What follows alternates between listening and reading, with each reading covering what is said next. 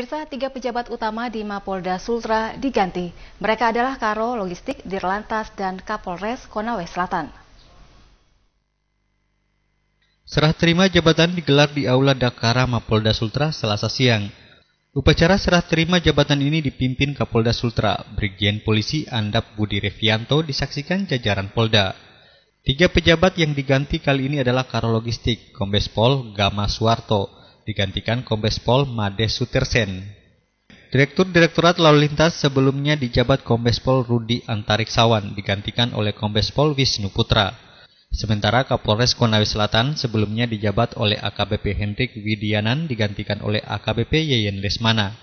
Kapolda Sultra menjelaskan sertijab merupakan bagian dari dinamika manajerial institusi, tindak lanjut regenerasi kepimpinan yang perlu dilakukan setiap organisasi mana pun termasuk Polri. Pejabat yang baru dilantik diminta segera menindaklanjuti program prioritas peningkatan kinerja personil Polri.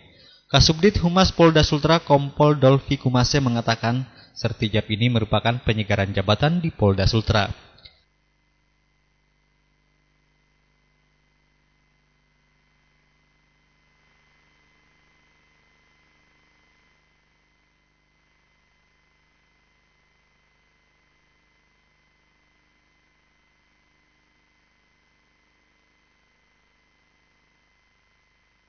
Kapolda Sultra Brigjen Pol Andap Budi Revianto mengucapkan terima kasih kepada mantan pejabat Polda yang telah menjalankan tugas dengan baik.